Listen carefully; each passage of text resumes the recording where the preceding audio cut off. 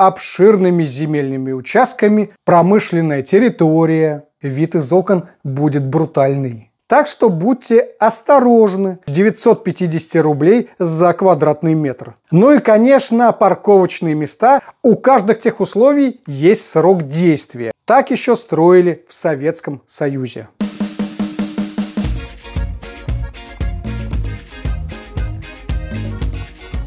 Друзья, добрый день. Я Андрей Артемов.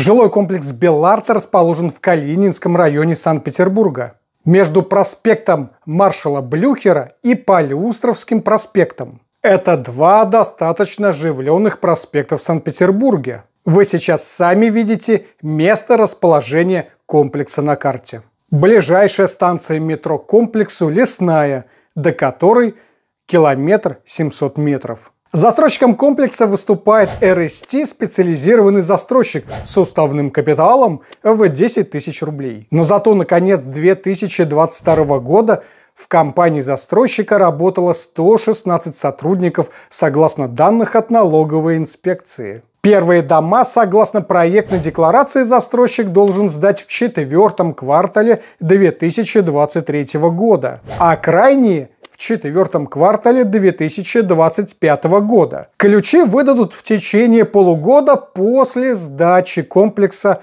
согласно проекта застройщика. Есть, конечно, и особенности. Итак, чтобы застройщикам получить разрешение на строительство своих проектов, у них должны быть действующие техусловия на присоединение к ресурсам.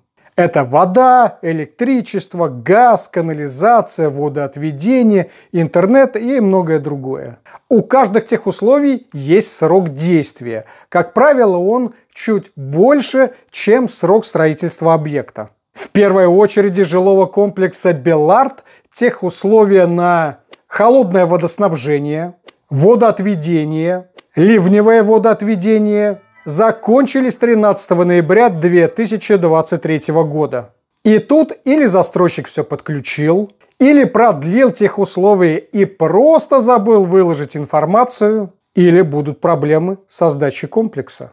Так как согласно российского закона дом нельзя ввести в эксплуатацию без подключенных ресурсов.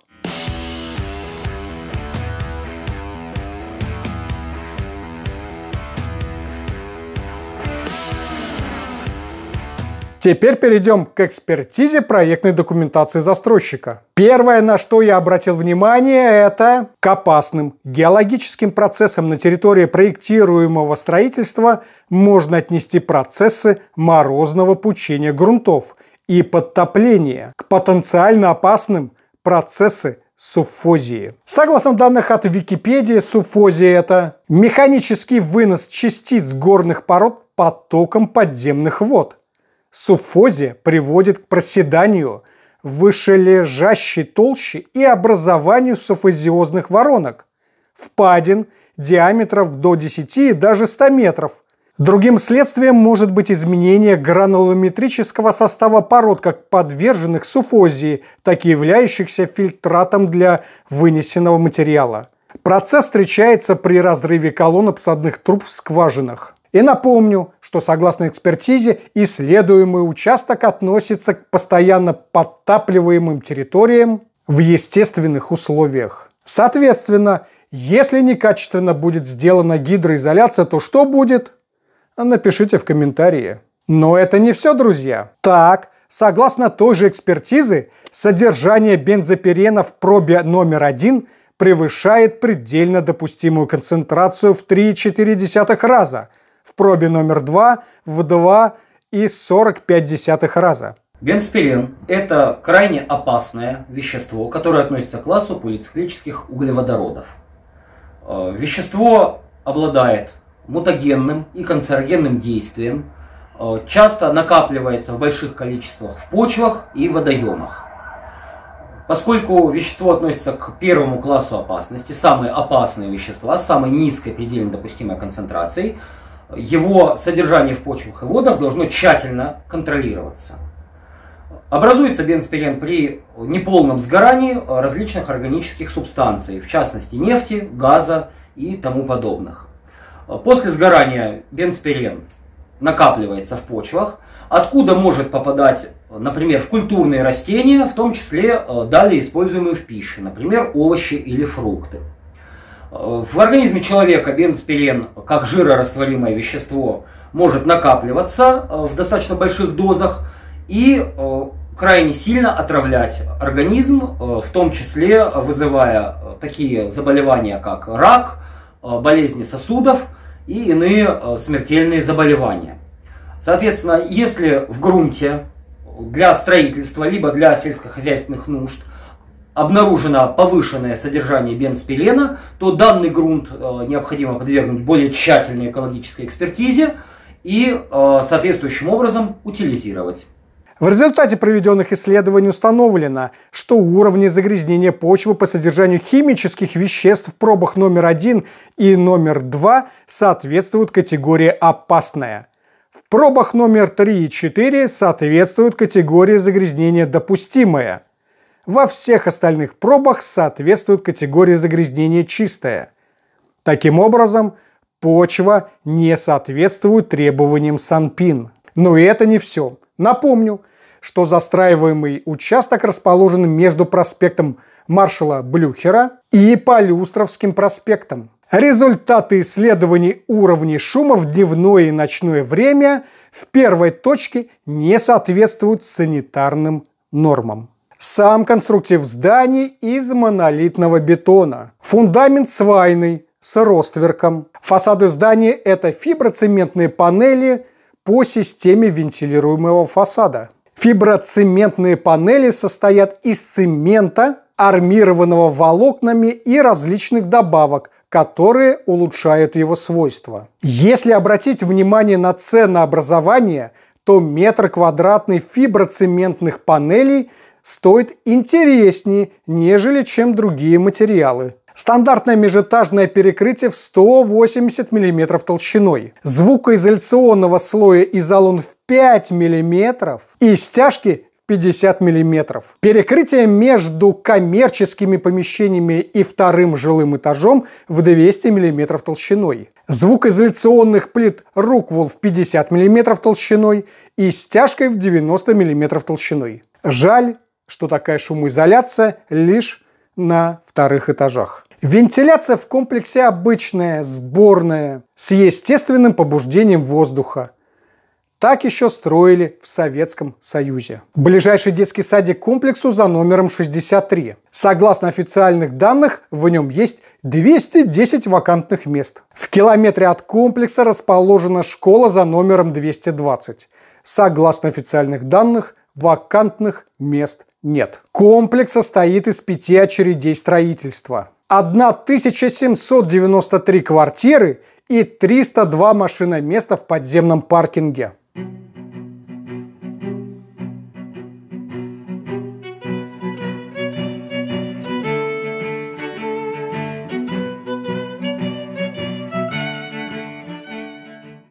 139 машиномест на территории комплекса. Ну и, конечно, парковочные места вне придомовой территории. Вне – это значит, вы будете парковаться на улицах, где уже и так все достаточно плотно. Зато класс энергоэффективности всех зданий Б высокий. С местами в подземном паркинге не так, конечно, радужно, как хотелось бы, учитывая соотношение количества квартир и количества мест в подземном паркинге. Но зато есть семейные места.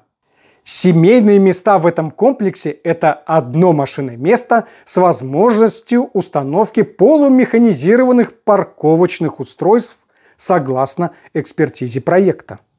Да вот только у меня вопрос. В экспертизе нигде не написано, что это обязан установить застройщик. Но, скорее всего, вы будете устанавливать за свой счет. Квартиры в комплексе представлены от студий до четырехкомнатных квартир. Квартирография комплекса выглядит следующим образом. Студии и однокомнатные квартиры занимают 66% от общего числа квартир. Двухкомнатные квартиры 26%, трехкомнатные квартиры 7%, и четырехкомнатных квартир 4 штуки. На момент съемки этого видео однокомнатная квартира от застройщика стоит от 8 миллионов 900 тысяч рублей. Или 263 950 рублей за квадратный метр. И это без отделки. На вторичном рынке квартиры продают чуть дешевле, но лично я считаю, что не настолько дешевле, чтобы это было интересно. Да и много сейчас появилось фейков. Так что будьте осторожны, чтобы не стать очередным лидом, которому будут названивать с различными предложениями по покупке новостроек. Машина мест в подземном паркинге пока нет в открытой продаже, но я полагаю, что стоимость парковки будет составлять порядка полутора миллионов рублей. В шаговой доступности от жилого комплекса Беларт этот же застройщик возводит жилой комплекс Мастер Плейс, где однокомнатную квартиру без отделки можно приобрести от 8 миллионов 800 тысяч рублей. В Беларте на период строительства можно взять ипотеку под 0,99% годовых и получить максимальную скидку до полутора миллионов рублей.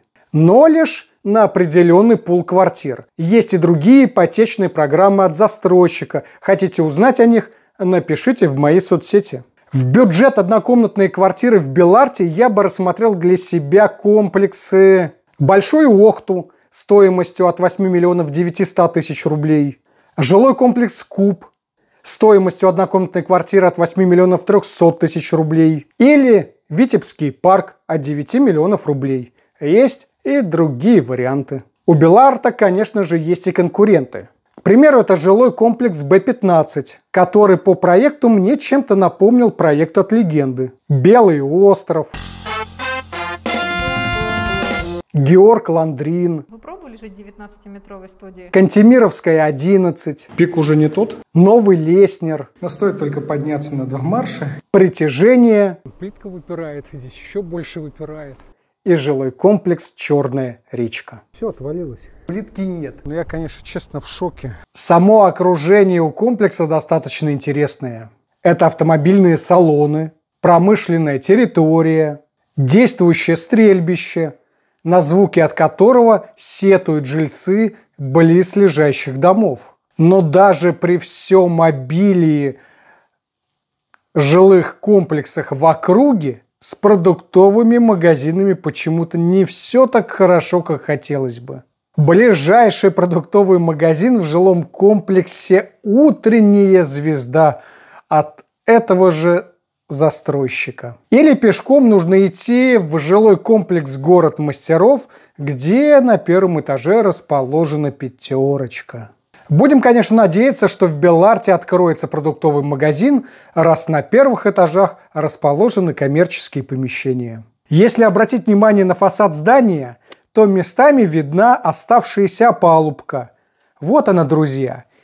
Или демонтировать забыли, или так в проекте у застройщика. А вот тут, мне кажется, просто тряпку в дырку засунули. Давайте увеличим и посмотрим вместе. Точно, Тряпка. Про наплывы бетона я молчу. Более 20 лет успешной работы, как написал застройщик на своем сайте. Одно дело награды получать и пиариться, а другое дело качественные проекты строить. От проспекта маршала Блюхера комплекс отделяет, так сказать, зеленая зона и линии электропередач. Так что у некоторых вид из окон будет брутальный. В шаговой доступности от комплекса расположен торговый комплекс «Европейский». А в июне 2024 года застройщик должен сдать школу на 1375 мест. Но помните, что наличие школы и детского сада во дворе вашего комплекса не означает, что именно в них будет ходить ваш ребенок. Знакомьтесь, Василий Константинович Блюхер – советский военный, государственный политический деятель, маршал Советского Союза и первый кавалер Ордена Красного Знамени. А это Полюстровский проспект.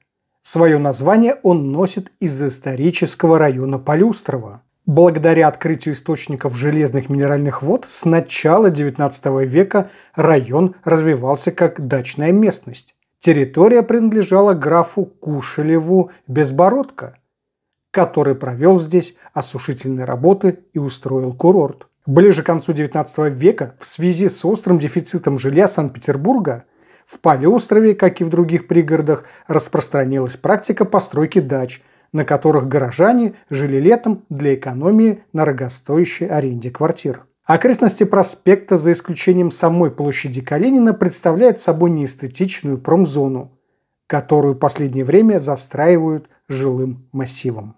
Сегодня обширными земельными участками владеет холдинг РСТ, который застроил и застраивает это историческое место, забыв про его историю.